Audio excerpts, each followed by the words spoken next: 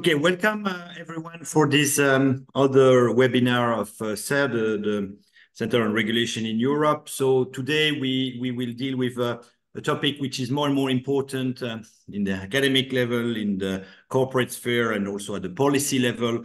Um, and also that's why we, we choose to, to deal with this topic. So um, first, as always, with the CERRE webinar, uh, we will have a presentation of a new report which has been uh, drafted by uh, two uh, renowned academics and, and CERRE research fellow. Um, and as always, in the spirit of CERRE, um, those reports are written by an interdisciplinary team. Um, so we have um, Amelia Fletcher from the University of Norwich. Uh, she's an economist, a behavioral economics, and uh, Chris, Christoph Busch from the University of Osnabrück, and he is um, lawyer specialized in uh, consumer protection and in, in particular in the field of digital. Um, but also this report, and it's important uh, for, for the audience to know, so uh, has been um, uh, uh, uh co-financed and written with the input of a number of corporation and regulator. Uh, most of them which are part of this of this panel. So it's an interdisciplinary approach, but also it's an with it's academic, but with input from the stakeholder. So how we will run the seminar, so there will be a, a first a presentation uh, of the report by Amelia and Christoph. Um, the report is available on the uh, website of CERRE. Um, and then there will be a discussion among um, the panelists. Uh, uh we will start with um, a, a national regulatory authority, uh, then corporations, civil society, and uh, we are privileged to have the European Commission who will finish and give um, her view on the report, but also on um, uh, what she has heard. Um, and then um, after that first round of, of um, uh, discussion, uh, you in the audience, you are encouraged to ask questions. So please uh, don't hesitate to ask questions via um, the application Zoom, and uh, we will take as they come uh, for the second round. And then at the end, um, the last word, which as always, be with the um, academic authors. So having said that, we can start with you, uh, Amelia and Christoph, if you can um, present you the main finding of the report. Many thanks. Yeah, many uh, thanks, Alexandre. Um, uh, Amelia and I would like to kick off this seminar with uh, a brief overview of our report on harmful online choice architecture. Uh, the report is structured in four parts, and I think you can, can see the four parts on one of the slides. Uh, part one explores the concept of online choice architecture and why it can be harmful. Part two maps and discusses the rapidly expanding regulatory landscape in the EU and identifies several overlaps and inconsistencies. Then building on this, part three formulates 10 principles for effective policy for addressing harmful online choice architecture. And finally, part four draws out a number of actionable recommendations for policymakers. Let's start with what online choice architecture is and why we think that policymakers should care about it. Generally speaking, choice architecture is a fairly neutral and broad term. It refers to how consumer choices are presented. Choice architectures can use many different psychological effects that influence consumer decision making, such as defaults, ranking, salience, status quo, social influence, and many more. Choice architectures can have different effects. They can be used to nudge consumers towards good decisions, but they can also be used to trick consumers into poor choices and harmful decisions. Now, these harmful choice architectures are often referred to as dark patterns, a term coined by Harry Brignull already in 2010. More recently, he has switched to the term deceptive patterns. In our report, we prefer the term harmful choice architecture, and we explain in the report why we prefer this term. Now, harms can arise on three different levels, user, market, and society. Individuals can be manipulated to make choices contrary to their preferences. This can lead to economic harm, but also to non-economic harm, for example, in terms of privacy. At the market level, deceptive or manipulative choice architectures can erode the trust in the market and distort competition. For this reason, the Digital Markets Act has several provisions that relate to choice architectures, such as rules on easy switching and choice screens, for example. At the societal level, choice architectures can have an impact in changing the preferences and behaviors of citizens. So in the long run, choice architectures can even have implications for social cohesion and democracy. Now, there have been several attempts to define harmful choice architectures. One uh, prominent example is the OECD working definition of dark patterns, which is fairly broad, referring to practices that subvert or impair consumer autonomy by deceiving, coercing, or manipulating consumers. Very similar language is used in the recitals of the DSA but both definitions are somewhat vague as to the mechanisms that influence consumer behavior and to the nature of harm involved.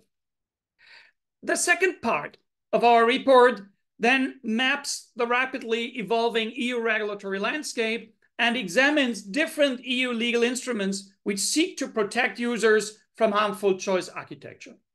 Until recently, the regulatory framework was rather simple based on two pillars. On the one hand, the Unfair Commercial Practices Directive in consumer law, which combines broad principle-based provisions prohibiting misleading and aggressive commercial practices and more specific rule-based provisions which you find in the annex to the UCPD. On the other hand, in the field of privacy law, there is the General Data Protection Regulation, which contains a number of provisions that can be understood as addressing harmful online choice architectures, which incentivize individuals to share their personal data contrary to their preferences. Now, more recently, the regulatory landscape has become more crowded and much more complex. In addition to the two pillars, the UCPD and the GDPR, we now have a new layer of rules for specific sectors, use cases, business models, for example, Article 25 DSA for platforms, the DMA rules on choice architectures by gatekeepers, Article 4 and 6 of the Data Act for data access, the new Article 16E of the Consumer Rights Directive, which is modeled on Article 25 DSA, but applies only to distance selling of financial services. And on top of this, there is the apocryphal Article 5 AI Act. Some of these provisions are very specific, dealing with just one category of dark patterns, for example, pre-tick boxes. Others are rather broad. The different provisions differ in terms of terminology and in terms of harms, which they address. They also differ in how they interact with the horizontal regulations. You have some carve-outs and in other cases, you have parallel application. And finally, the level of protection offered by all these rules um, very much depends on the underlying consumer concept, which is, as you know, a matter of debate and also a matter of a pending case at the European Court of Justice. So in short, the regulatory framework could benefit from some clarification. How could this be achieved? Amelia will tell you what we suggest in our report. Thank you. Thanks very much, Christoph. So in the report, what we do is we develop 10 principles for effective legislative design and implementation. And the focus on implementation partly reflects the fact that we've had quite a lot of legislation and it may be tricky at this stage to try and go back and uh, apply these principles to the legislative design, but we do think they're relevant for future re legislative design. But in the meantime, with the legislation we have, we think there is room for um, using some of these principles in developing um, both case law and guidance. Um, so the first um, and I should say that the 20 actionable um, recommendations that we have at the end of the report, we're not going to go into in this short presentation, but they broadly fall out of the discussion in the 10 principles. So the first principle is that we don't think regulation should be restricted to just addressing intentional harmful effects uh, we identify a number of situations where you get harmful uh, effects from online choice architecture where there wasn't any intention to achieve to create those harmful effects. We also think the general point um, that often holds in law is uh, that intention can be hard to demonstrate, could be uh, just as true, if not truer here we note that actually this fits with the current legislation. There isn't a requirement in any, I think, of the current, current legislation uh, to show intention for um, for the legislation to apply. But we then talk about well, does that kind of by not including intention as a requirement for for the application of the law, does that impose a kind of positive fairness by design duty on uh, on designers of choice architecture?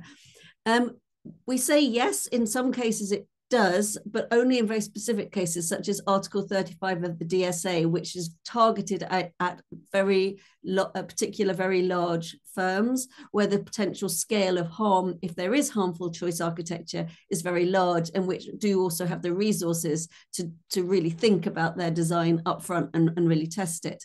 Elsewhere, we think that could be uh, that would be disproportionate, but we wonder whether the UCPD professional diligence concept could be used more widely. In the other legislation that we see, there isn't really anything along the same lines, but we think it's um, it's useful and could be brought in by thinking about uh, proportionality in those different uh, pieces of legislation.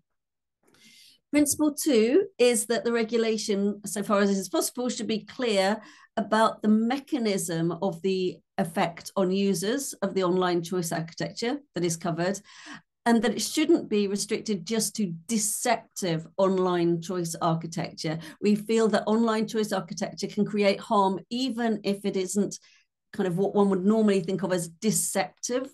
It can kind of missteer people. Um, we, having said that, we think the terms mis misleading and aggressive within the UCPD are relatively useful and perhaps better than deceptive and manipulative which is some of the language that has been more more recently used. But we do think it would be useful if those um, terms were clearly um, expanded or if it was made clear that they co- encompassed the idea of missteering people principle three uh, is that we think regulation should be clear about the nature of the harm involved and who it pertains to. Again, we have a discussion about this uh, average uh, consumer concept in UCPD, and we make the point, which I think is along the lines of uh, what the Advocate General is now arguing in the case in front of the court, um, that actually a the average consumer exhibits behavioral biases. The average consumer um, you know, has has cognitive costs that mean that it may be missteered by online choice architecture, and therefore we think that is a thing for the average consumer concept and not just for the vulnerable consumer concept. Uh, we also say that we feel non-pecuniary harms should be captured um, uh, within UCPD. And but more generally, one we should be clear. Um, we also look at this AI Act Article 5, which we uh, consider to be incredibly broadly scoped, at least where AI is involved, uh, which could create some real overlap issues. Next slide, please. Principle four is that we feel that the law should recognize intrinsic limits to informed and autonomous decision making. Sometimes uh, some of the um, legislation seems to refer to neutral choice architecture or fully informed and autonomous decision making, almost as if that is the kind of counterfactual to harmful cho choice architecture. And we think that is typically unrealistic. Um, with choice architecture is a is is necessary online um, and can be very beneficial. Um, but it, it, it it, may be that without any choice architecture um, you you actually get worse decision making. So we need it's it's it's quite del delicate and complex. We in this section we also talk about the unfair contract terms rules and what um, this uh, implication what this uh, these difficulties of real, fully informed and autonomous decision making mean for the the term plain and intelligible in that context. And also in this section, we talk about the potential benefit of small frictions in the decision making process to slow you down and to force you to just deliberate somewhat but we talk about how there's then a trade-off between that and a smooth user journey, which can also be uh, very, very um, valuable. Um, and talk about the need to strike a balance. And we talk about how the DMA we think actually strikes a pretty good balance there, but uh, more generally, that is something that needs to be thought about. Principle five is we rec- the same point that I've made uh, once and, and Christoph made as well. It's really important to recognize that online choice architecture can be beneficial as well as harmful. And there's two sub points there. First is when um, when designing and implementing uh, policy, it's really important to avoid discouraging online choice architecture that is intended and likely to be beneficial to users. Um, and that could easily happen if, if laws are designed too broadly. Um, we also highlight that specific legal requirements to introduce particular pieces of choice architecture, such as choice screens, can be very useful. Principle six is that exercises, the exercise of rights should be easy and not undermined by online choice architecture. So we talk about some positive uh, requirements such as the withdrawal button and cancellation buttons, but we also talk about uh, the anti-circumvention rule within the Digital Markets Act, which is a specific rule which um, is, is, general, but there is a specific, specific element of it which relates to uh, choice architecture, which essentially says there's a whole bunch of rules here and you can't circumvent those rules by designing your choice architecture to achieve the same thing and just meeting those rules in by the letter of the, the rule as it were. And we think that's really interesting and potentially applicable across a wide range of legislation even legislation that one might not think had anything to do with online choice architecture but where online choice architecture could still be used to circumvent uh, that uh, legislation. Next slide um, I realize I'm running out of time. Principle seven is to ensure that the regulation addresses online choice architecture across multiple user path elements. Sometimes the legislation refers to interface design, um, and that could be seen as kind of an individual screen, whereas actually the, the whole set of screens that one goes through. The whole um, the whole user journey is really can be really critical to decision making. Timing context the number of steps that people have to go through. All needs to be considered uh, all needs to be covered by uh, the leg- legislation. Principle eight um, we don't spend a lot of time on this and it potentially could be a whole separate report but is um, we think we need to consider special rules for algorithmically personalized choice architecture so micro targeted uh, choice architecture. This is the idea that we've often talk about prices or products or advertising being targeted at individuals, but you could actually imagine choice architecture being designed specifically for individuals um, and really trying to reflect their specific biases, we consider that could be particularly harmful and also particularly hard to police because it would be very hard to ever evidence exactly what um, what choice architecture any individual had seen, and therefore we think there is a, a, a rationale for strong uh, law in, in, in this particular area. Principle nine is that behavioral testing should be encouraged or even required in specific circumstances, and that regulators should be able to test results. This is because actually it's very, very hard to guess upfront how any in how individuals will respond to particular choice architectures. We have hunches we know how defaults work. We know um, that how saliency bias works. But in any particular instance it can be very very hard to guess how a choice architecture will work. The only way to really assess it is testing um, and that means that um, that testing is critical to all of this. It also means that authorities may need to have ux and behavioral science experts to help uh, deal with all this evidence.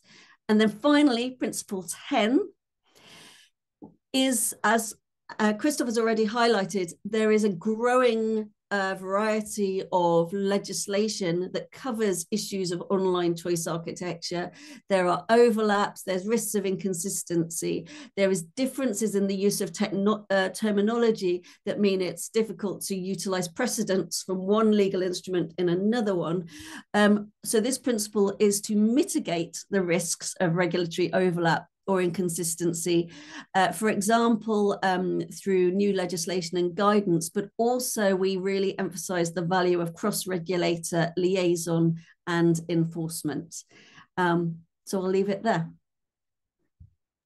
Thank you very much, uh, uh, Christophe and Amelia, for this uh, for this report. So, for the audience who who, who join us, um, in the meanwhile, um, I, I, repeat. So, the report is available on the on the CERRE um, website, and as um, Christophe and Amelia were mentioning, um, they are deriving a number of specific policy recommendations from the ten principles um, that have been mentioned.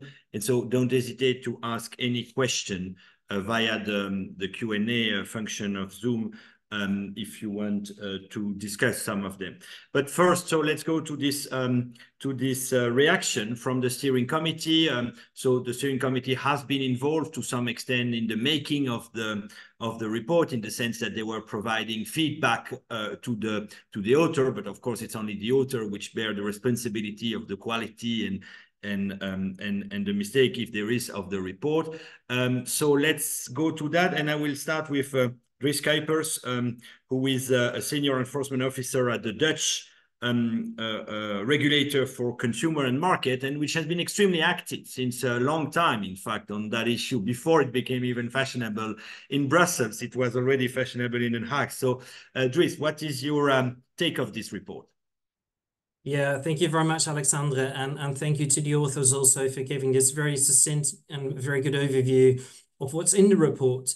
Um, yeah, so there's there's two points really I would like to highlight. One thing that I particularly like about the report, and one thing that I think we can build on in the future in terms of legislation. So let's start with um, the element that I really like, which was something that we actually ended on during the presentation um, in terms of principle 10, the, the principle that says that we need to mitigate risks of regulatory overlap and inconsistency in legislation, which I think is probably one of the more boring topics because it's very legal. Um, but I actually want to really emphasize the importance of this point, which was already made by Amelia, but I think I want to further strengthen it. So, of course, companies, you know, acting in the market need legal certainty. Of course, consumers need to know their rights. But I also want to argue this point very strongly from a, an enforcement perspective.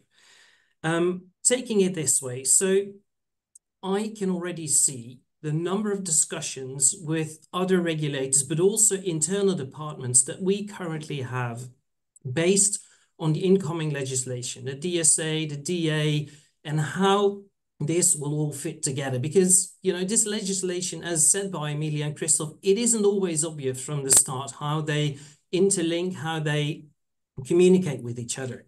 Um, and if I look at the amount of time very scarce time that enforcement enforcement agencies in Europe have and some people even speak of an enforcement deficit when it comes to consumer protection I can see quite a bit of that energy and capacity, moving to finding out who's responsible for what, what actually the various provisions mean, how they cooperate, how we cooperate as agencies, what barriers we have, how we need to exchange information, and what's possible and what isn't. And then also bearing in mind that we're probably going to take up cases to test this legislation. Maybe in some cases, because of the inconsistencies and unclarities, only to find out in six years from now, litigating before the European Court, that we mis misunderstood and misinterpreted one certain provision. So it is really important, I think, that we keep the eye on the ball during the legislative process um, to make sure that these inconsistencies are as limited as possible um, and that we have uh, a piece, an entirety of legislation which is enforceable. So, so that would be, you know, my my my cry from the heart as an enforcer.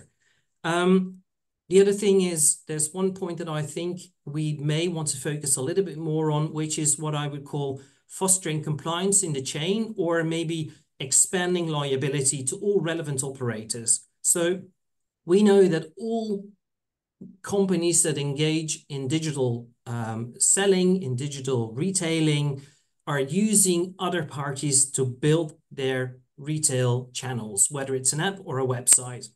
They may be using online marketing uh, firms, they may use software, they may build on platforms that offer certain um, uh, plugins, they may use consultancies, growth hackers. There is a, a tremendous uh, business to business supplier chain, which under current consumer legislation is not in any way liable. Now, for, for the potential violations caused by their services and products. So let me go to a totally different area and let me take you 50 years back.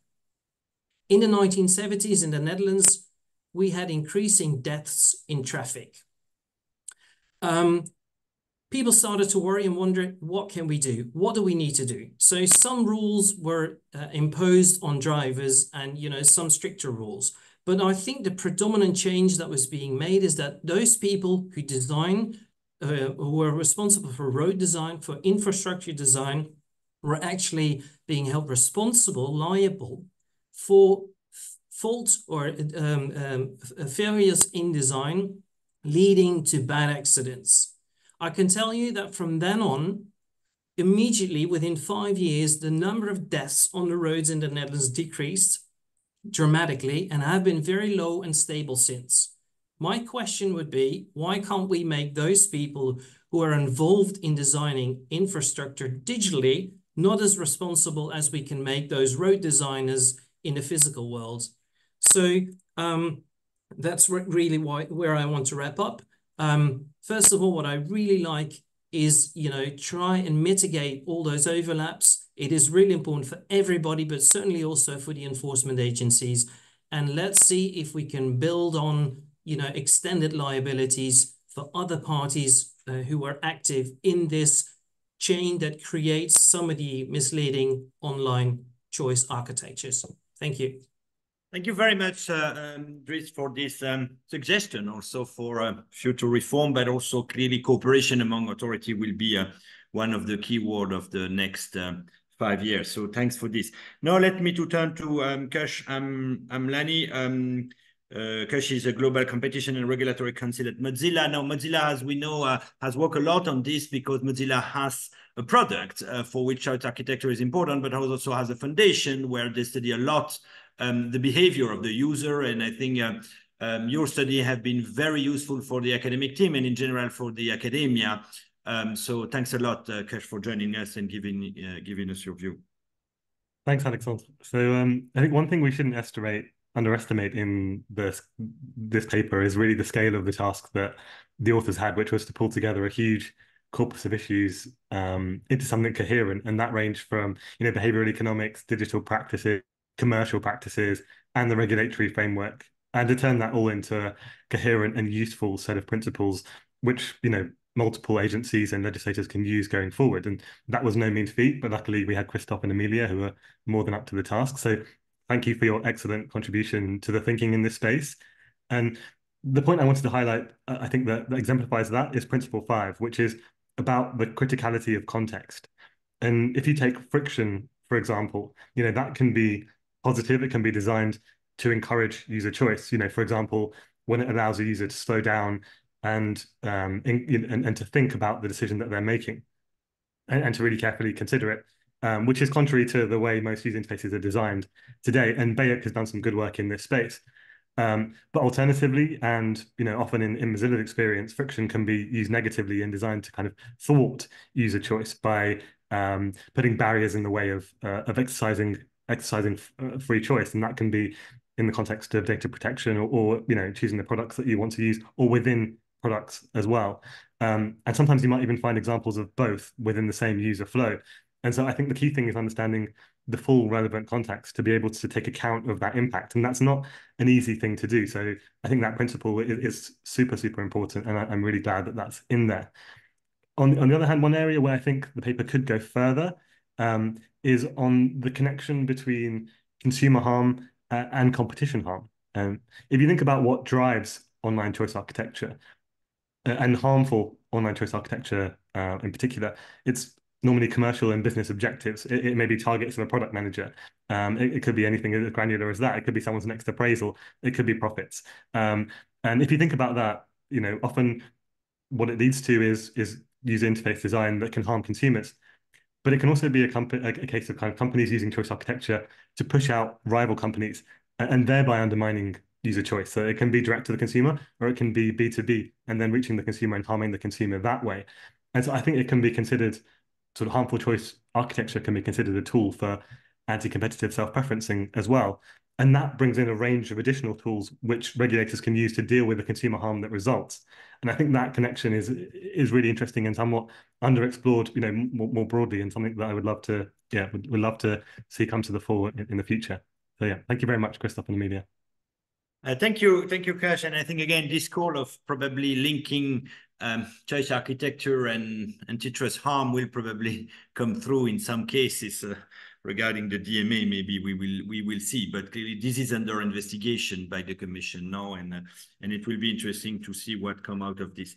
Um, let's go now to Razvan Antemir. You are um, manager in public policy at Amazon. Of course, Amazon is doing a lot of choice architecture, a lot of testing to try to improve um, the um, the architecture we are facing. So, um, Antemir, if you can come with uh, your take on uh, on the report.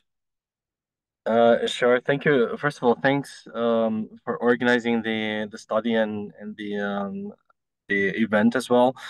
Um, I, I think maybe one thing to call out, which was not mentioned so far, is that it's quite still quite rare, despite having some examples of bringing such a diverse group of stakeholders together and working together on on such a research. So uh, there are examples. Uh, I think the ACM is a very good example, very driven towards dialogue, and also the Commission's um, Consumer Summit uh, earlier in April hosted a lot of discussions, but I think CERRE was really practical around the the really many topics that we, we had to discuss.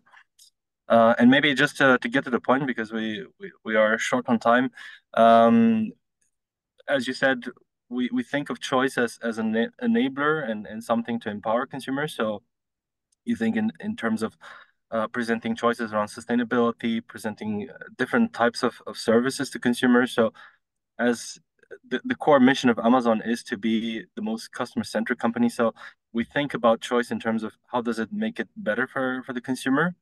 Um, and I think in, in the report, there are a number of, of principles which um, can can lead to even more interesting discussions in, in the future, five, uh, six, or, or even seven. Um, as a company, kind of touching on, on what Dries mentioned as well, as a company, we're also very mindful of, of having had a, a, commission in parliament mandate that we're very full of, of new legislation and that that only adds to the existing um, set of rules. So i think the report recognizes very correctly that we have a framework in place which can serve for for enforcement already now. And i think the the point about avoiding duplication and overlap and, and legal certainty is a very important one even for companies um, because when we build legislation, this should be one of the principles in mind. Um, there's no added value to the legislation if it cannot be enforced. Um, and also, as a company, you will need guidance in, in some cases while you, you're free to, to develop the best services you, you can. So I, I would say that's that's one of the, the most important one to ensure that you both deliver for, for consumers, but also in terms of companies, you deliver uh, a level playing field and maybe one of the things that obviously the the report had to to make some choices and you cannot uh, focus on everything but uh, to Dries's point we will also have the consumer protection cooperation regulation revision coming up in, in the next commission or at least that's what we we think. Um, and i think that that may be a very good uh, occasion to look at the existing rules. Many of them have been mentioned and some have not even been implemented yet. And and learn about the the challenges that we we have around them and potentially the need for guidance and then think in the context of the cpc regulation digital fairness going after that and and maybe the revision of, of the omnibus and, and so on think about how we integrate these learnings and and continue dialogues like like this so i'll, I'll stay here because we were asked to be short but happy to to continue the discussion. Thank you very much. Thank you. Um, thank you very much, uh, um, Razvan, for those uh, opinion and advice also uh, uh, on how to how to implement that in the in the best way. So let's go now to Matthew Dowell, um, Senior EU Regulatory Counsel at uh, TikTok. So another um, big tech, uh, so another um, company which is doing choice architecture all the time. So what is your um, take on the report, Matthew? Thanks very much, Alexandre, and, and thanks to the authors uh, and the working group for, for working so collaboratively in, in putting together the report. Um, I, would really, I think the message has already come through, but echo the comments we've had from both Christoph, Amelia, Dries, uh, about the about Principle 10, really, about the importance of avoiding overlap uh, and, and uh, duplication, which, you know, it, it's a really, it's a really difficult topic in amongst that plethora of legislation that we've had over the last few years uh, online choice architecture, particularly harmful online choice architecture, is a is a really hot topic for everybody, um, and understandably so. But you know, there's only so many times we need to sort of crack that nut, so to say, so to speak. Um, you know, and we should really think hard about whether new legislation is needed, uh, and only if there's a gap should we then step in and regulate. And and and as Dries said, it, that this the duplication and uncertainty it, it impacts so many different aspects regulators themselves, legislators, you know, enforcers, um, and you know, as as a, in industry, you know, when, when we're advising uh, product designers and things like that, you know, having to interpret multiple different pieces of legislation that use very subtle different words to describe essentially the same thing but we can't be certain yet until we get some case law and some precedents to really you know, do these words mean the same or is there is there an intentional difference between the legislation? So i think that's a really important principle that that we should think about going forward you know really challenge regulators to say is any new legislation needed or is it sufficiently covered?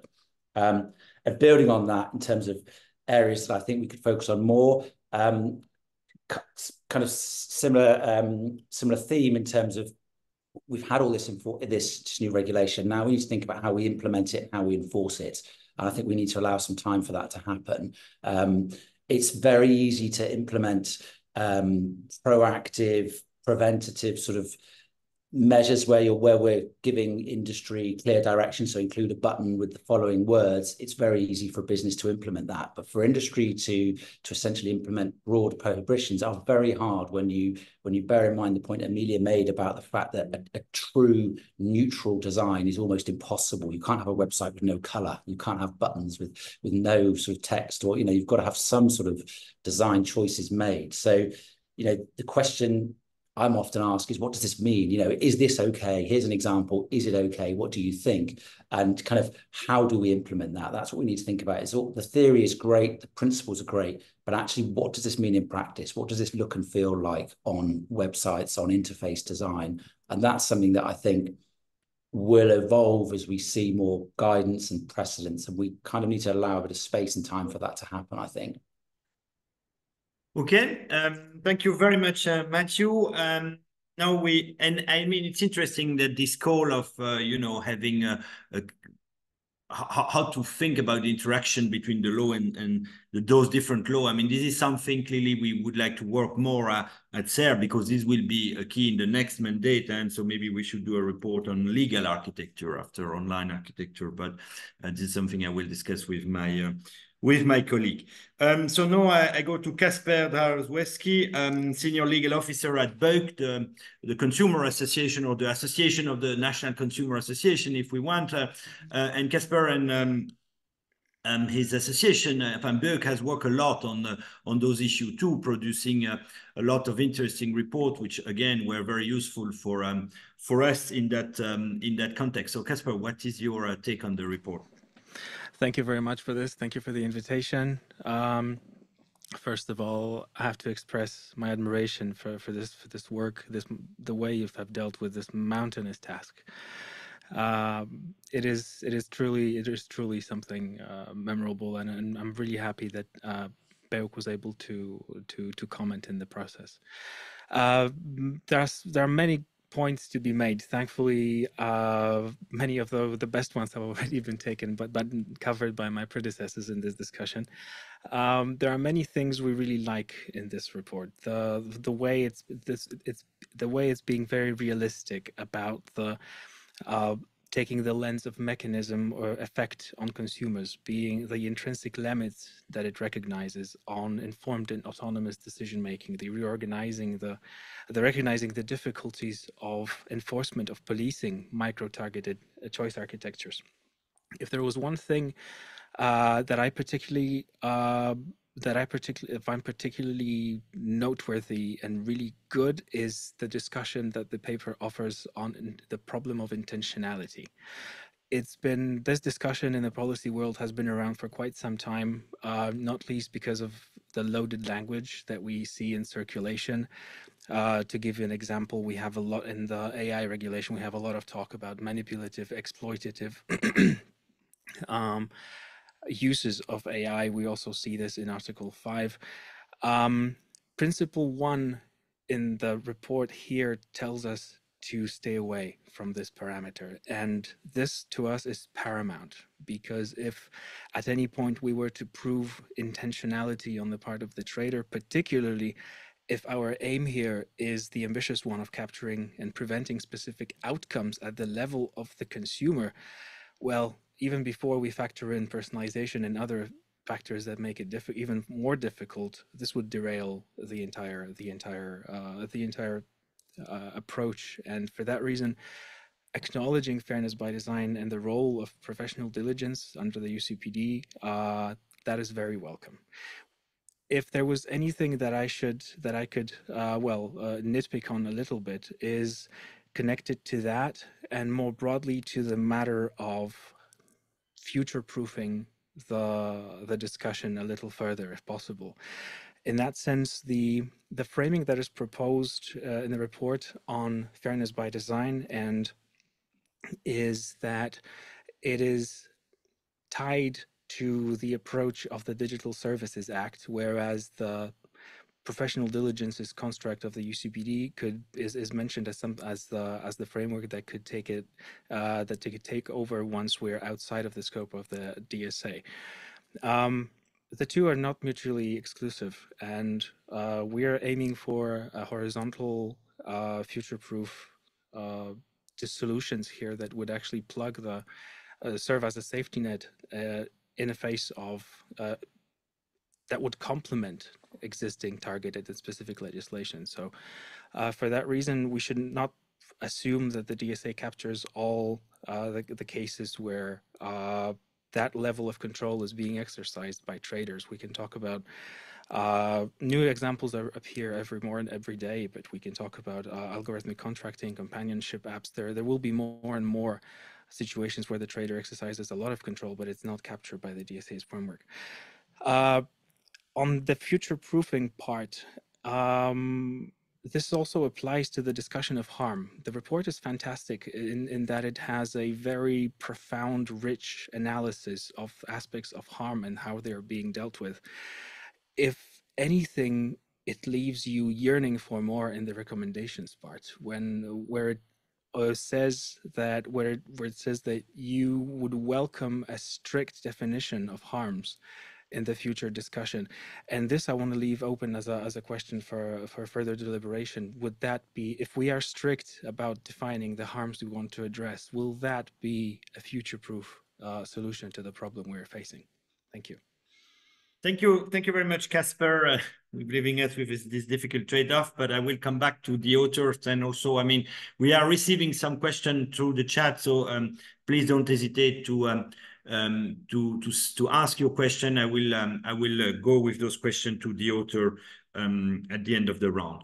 Um, so now we have uh, Robin uh, uh Schlinkert, uh, product director at DuckDuckGo, and also DuckDuckGo, uh, an important tech firm, um, um, do having a lot of experience with chart architecture. So Robin, what is your take on, on the report? Yeah, th thank you very much for having me. I feel like a, a bit of an intruder in the sense that I'm not a legal or policy person at all. I, I build products. So even better. That's that's that's what we need more in Brussels, I think. So thanks a lot. And that is also where uh, on CERRE, we insist a lot to not only talk about um, among ourselves, but uh, with product people, because at the end of the day, you are the one who, who do the job after all. Yeah, if so, so if anyone doesn't know DuckDuckGo yet, obviously we try to restore users' privacy and prevent some of the harms that come from the micro-targeting, from the collection of data and and from manipulating them. So so we are generally very excited about all the things that are happening in Europe Europe in this sphere, and uh, you know we really feel that that Europe is leading uh, this field. And as as I'm originally from Germany, you know I, I'm very happy to work for an American firm, but but see Europe take a leading role here. Um, and so in terms of the report, something that that we really like is that um, it doesn't just focus on prohibitions, but also uh, on positive requirements on how can how can um, how can these choice screens or choice architectures be designed such that they that they actually work and that the user in real life um, you know has a positive effect from them. And I think you know the browser choice screens and the search choice screens to some effect have shown that that this is possible and that this, this does work. Um, and and we're seeing the feedback loops there where where we're seeing what, what is happening and we're then using that information to to make them uh, make them better. So so the principles that we should focus on on positive requirements uh, and uh, and and the effect on users. That's something we're we're really excited about. Um, if I wanted to pick something to to it's not really a criticism. It's more like maybe we could have gone further in this report.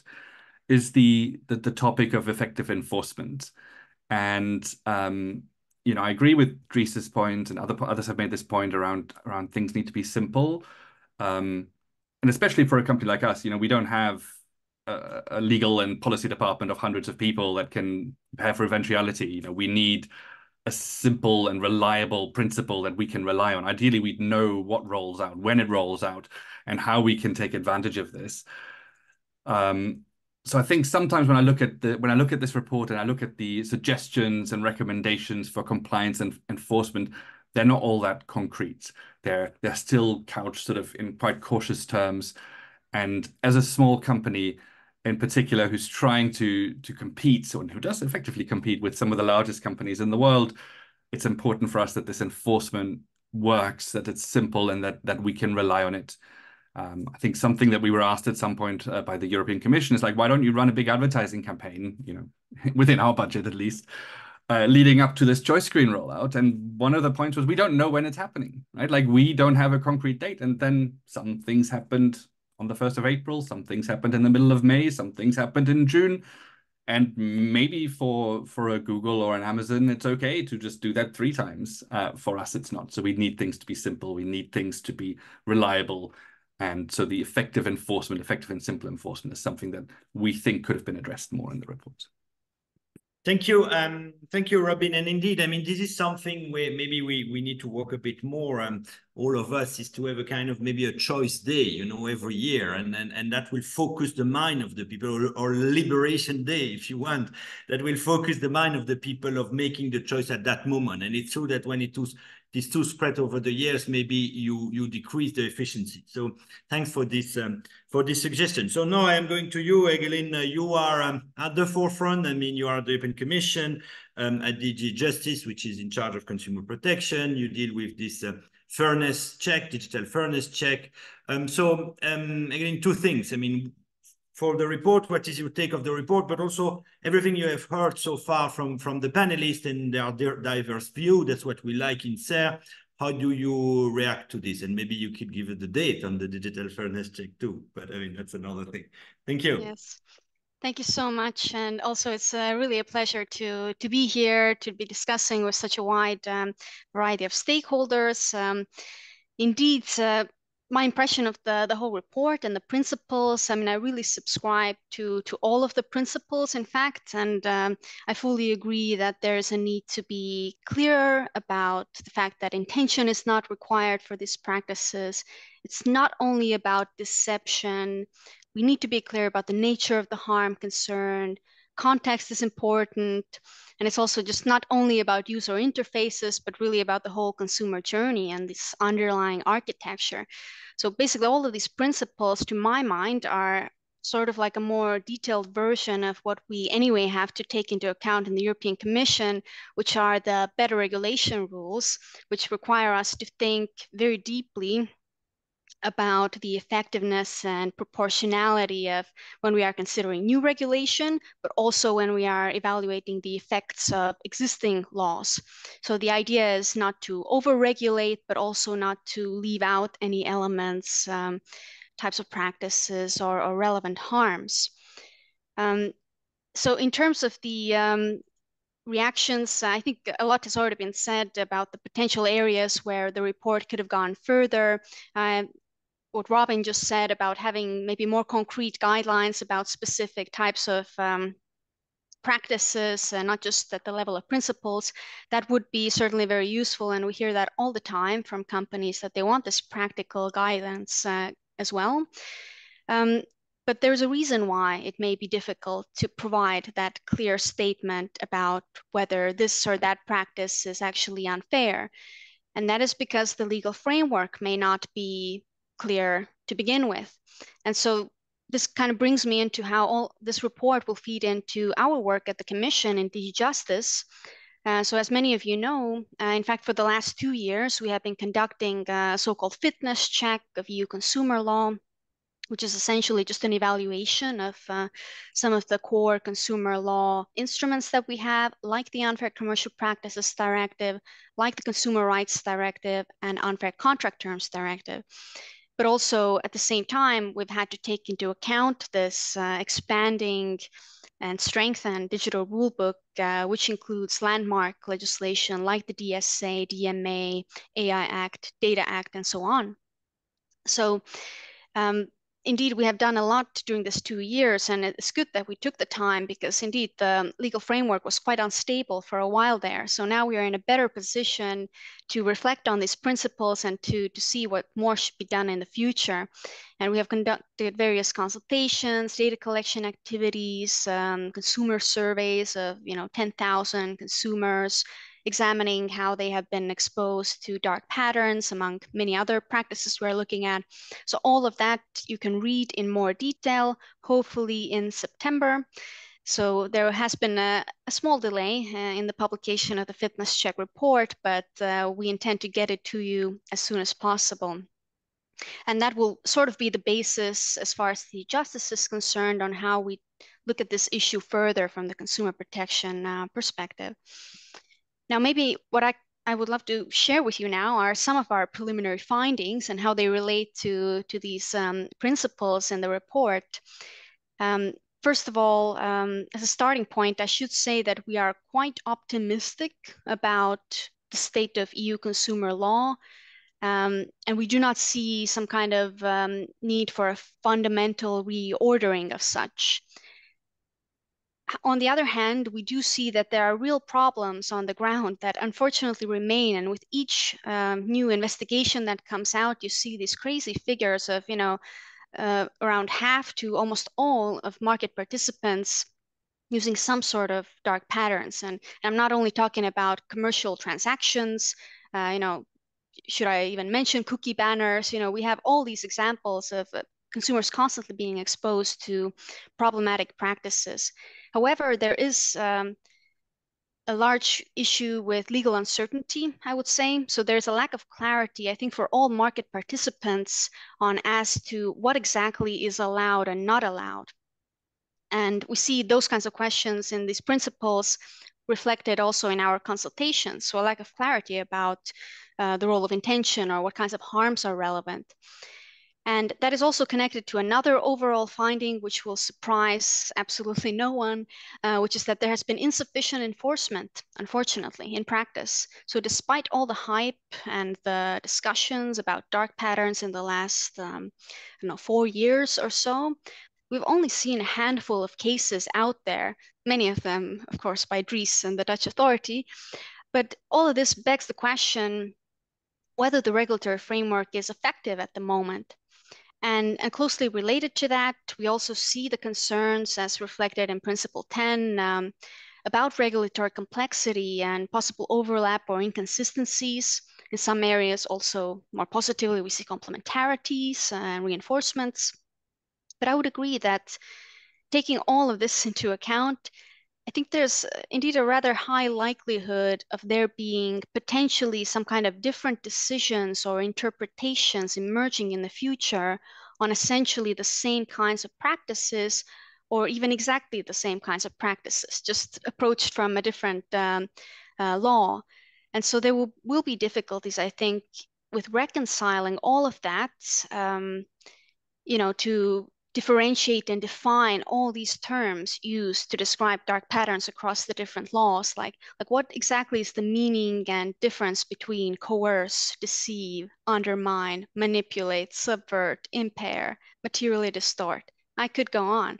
And and all of that will inevitably also have an impact on the application of consumer law which has been there for a while and already has uh, a lot of case law behind it, though not necessarily in the online uh, uh, choice architecture context. And also, I think it's um, important to note uh, something also Kasper uh, mentioned that um, contrary to popular belief, um, the recently revamped and strengthened uh, digital rulebook did not tackle, um, nor did it intend to tackle all unfair practices or all types of traders or all types of business models. And it's not a matter of us waiting to see enforcement of these rules for the next few years. As a lawyer, you can already today open these laws, have a look at the material personal scope of these laws, and not to mention the individual limitations of specific provisions, and realize that um, the application of these new rules is often um, limited by the addressees, the risk level determinations, uh, other factors. And this was all by intention uh, by the legislators. It was meant to be proportionate and, and targeted. But consumer law, on the other hand, is kind of the safety net in the background that could be used to tackle any practice. And so, what are examples of the kind of practices or the kinds of traders that would not be captured by this uh, new laws? For instance, if you look at retail and e-commerce, individual traders' websites and apps, um, as well as various kinds of digital services that are not intermediation services or core platform services. Just to give a few examples, um, you know, media streaming services, video games, dating apps, health and fitness apps, gambling services, um, educational apps, and so on. And, and so there are a lot of, um, let's say, market players which actually have not been affected pretty much by any of these uh, new rules. And uh, last but not least, of course, as you know, um, around 99% of traders operating in the B2C market in Europe are SMEs, of which 99% are micro uh, and small companies. And they have been either fully or partially exempted as well from a lot of these uh, new provisions. So let's see, say the scope of residual challenges um, that remain to be regulated by indeed our already pre-existing general consumer laws and data protection laws. Um, so the remaining challenges are quite significant, I would say. And um, indeed, there is also that other aspect, uh, which is maybe less prominent with dark patterns, but certainly with a lot of other topics in the digital sphere, which is the issue of regulatory fragmentation. That in the absence of very, let's say, concrete guidance or steer in the law about what is allowed or not allowed, some member states have gone ahead and taken unilateral action to protect their consumers.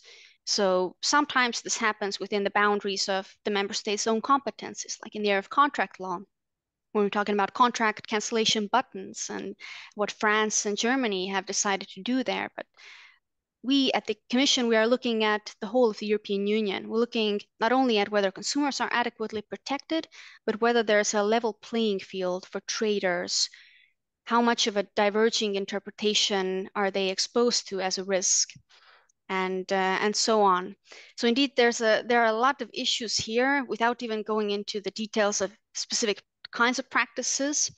So looking ahead, what's next for us? Um, after we publish the fitness check report, uh, there will be essentially a political decision to be made um, at the EU level by the next uh, political um, leadership that will be coming, you know, by the end of this uh, year.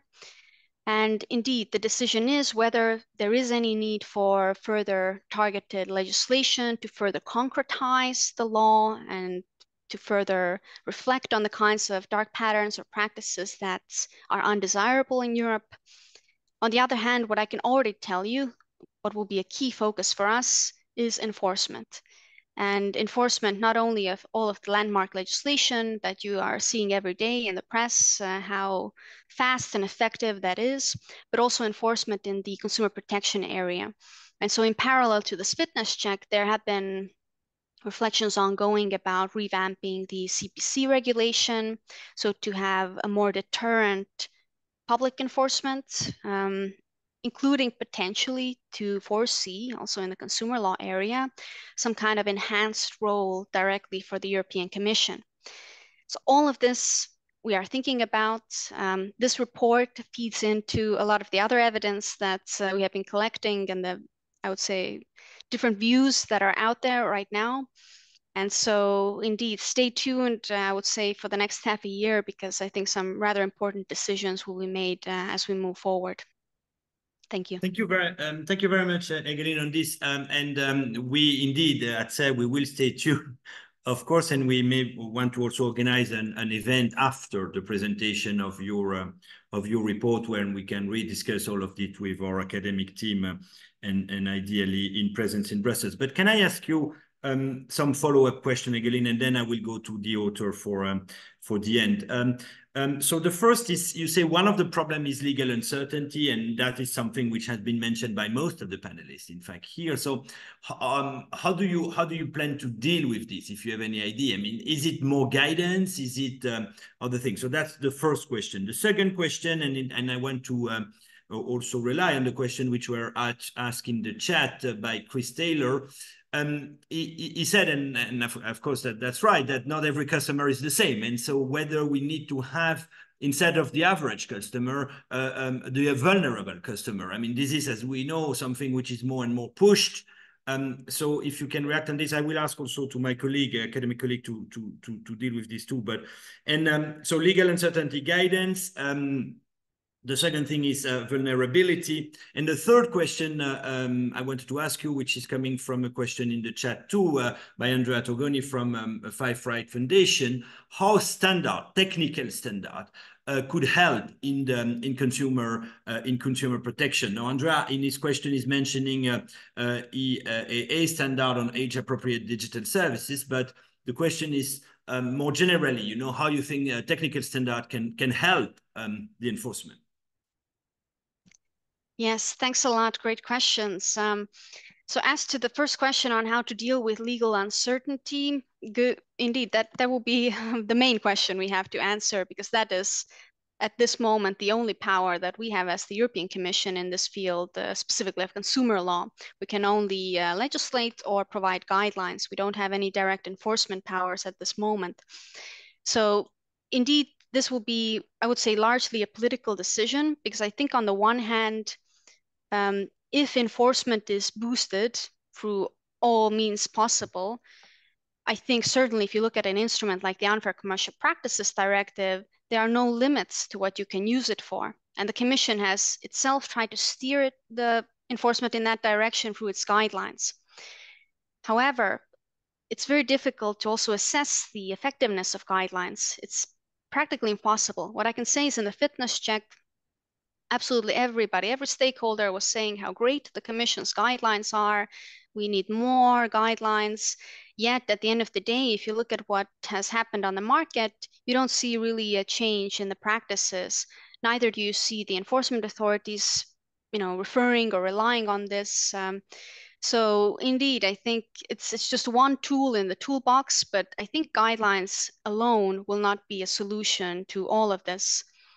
As to the legal side, again, that's up to the political masters to decide. And any legal changes, by the way, would of course have to be preceded by an impact assessment, by new public consultations. So nothing new will in any case arrive before 2026. Um, but if such ideas were considered, then what we see in our consultations, what people seem to be calling for mainly is a concretization of the prohibitions. So being just more precise on what is allowed and what is not allowed. And this ties also to the enforcement side. If you have clearer prohibitions, you can have more automated enforcement. You have a more clear legal basis. So you are not taking a risk when you go to court against um, traders. You can be quite confident that you are right. Whereas we cannot really say that right now when you have to interpret the general clause from 2005 and, and put it into the context of some kind of algorithmic uh, personalized uh, uh, choice architectures. Although it is possible, but it's, it's perhaps too difficult. And that also ties to the story of uh, the burden of proof and, and how, how difficult or easy it is right now to, to prove that there has been an infringement, even if you have a reasonably strong case. So remains to be seen, but I think guidelines alone uh, would not be a full solution. So you would need a significant strengthening of enforcement at minimum uh, in, in, that kind of package. And how to differentiate between the different consumer needs um, and what of the story of the average consumer and the vulnerable consumer.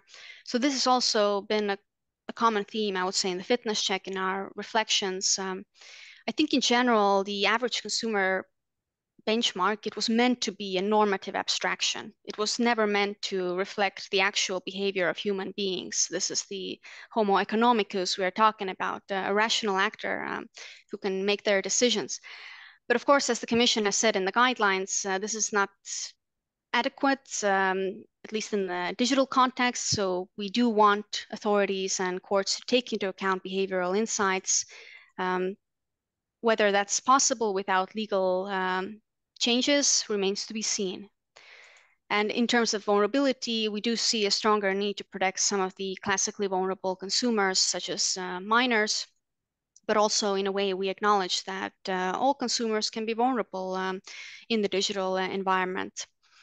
Um, as for the role of standardization, um, indeed, that is, um, let's say, a source of untapped potential here.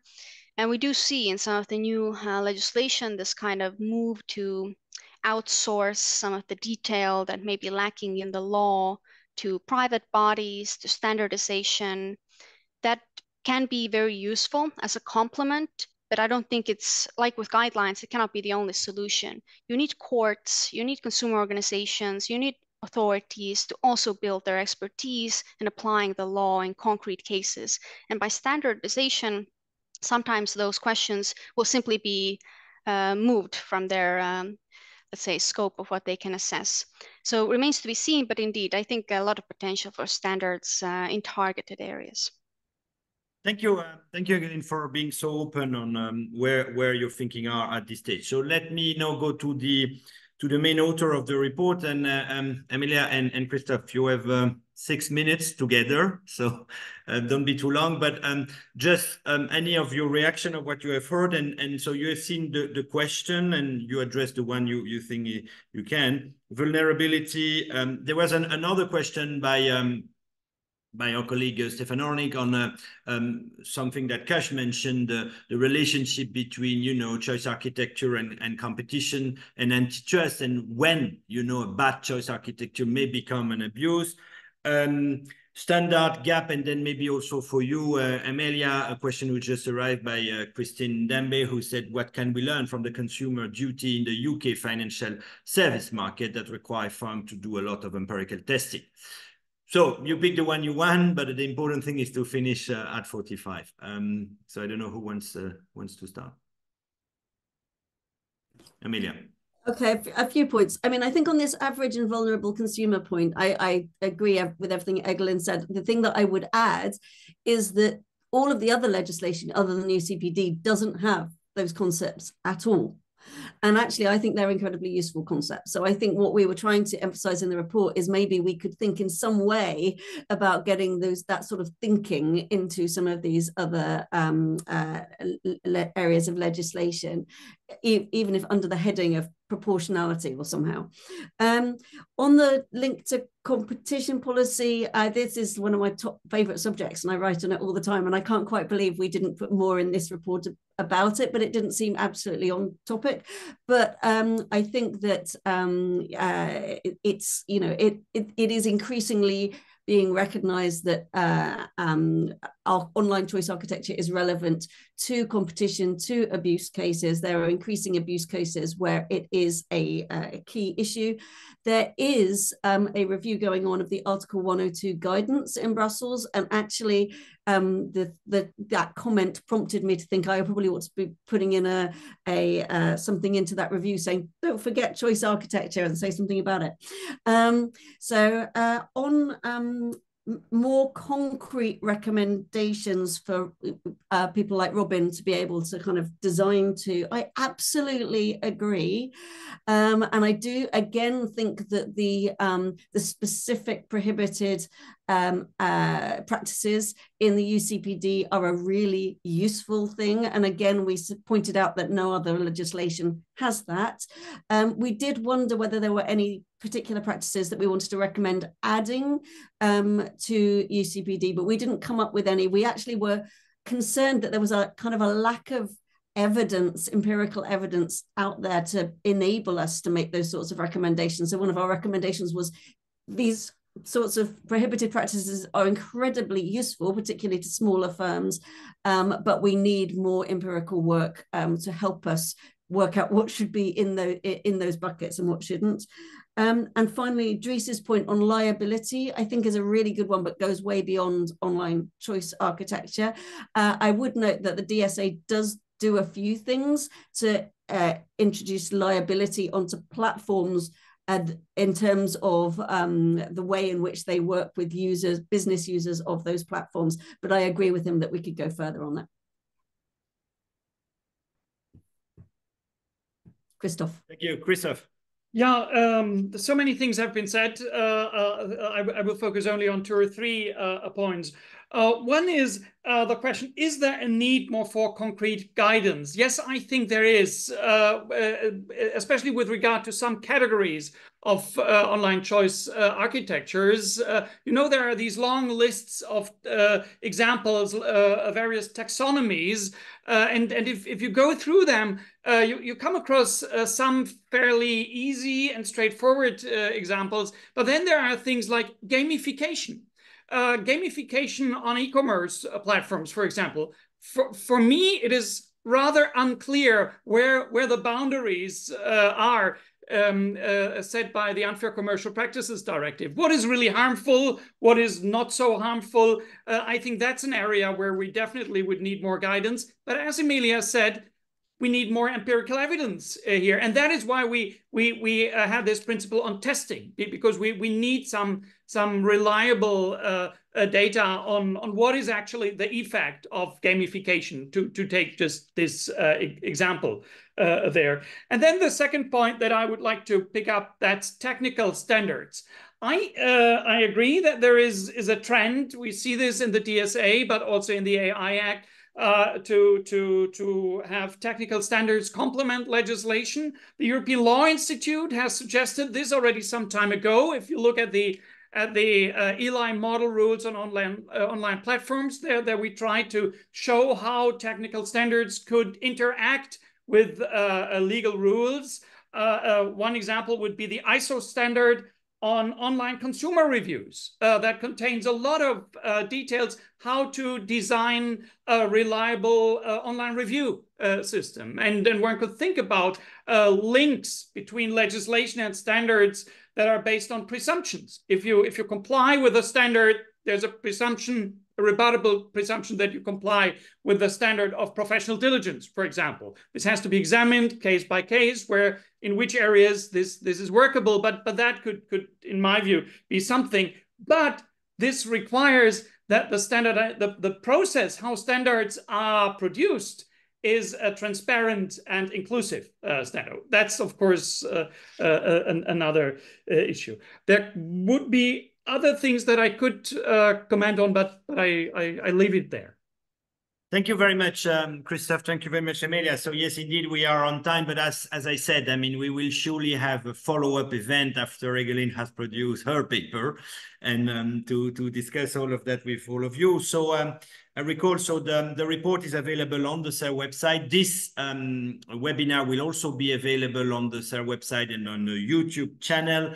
Um, don't hesitate also to register for those who have not yet done so um, to the newsletter of CERRE. We will also produce on the on the same CERRE website um, at the end of this week uh, a report for the next commission and the next parliament. Uh, as you know, I mean, the think tank in Brussels tends to do that. So, and we we discuss uh, part of what we mentioned here. So um, uh, that will be available uh, on Friday on our website. So thank you very much. Thank you in particular to the CERRE team to, who have organized that um, and Elisa and, and uh, her colleague for, for having uh, organized that uh, Demain de Maître. Um, to um, all the panelists, thank you very much for your engagement. Um, as you say, I mean, and this is what we like to do in the think tank, you know, to engage with different, with all the stakeholders, the big, the one, the, the civil society, the academic. I think it's it's only with this that you can end up with balance um, and good recommendation. And thanks in particular, of course, to Amelia and Christoph. I think your job was very appreciated. So thank you very much um, and have a good afternoon or good morning, um, everyone.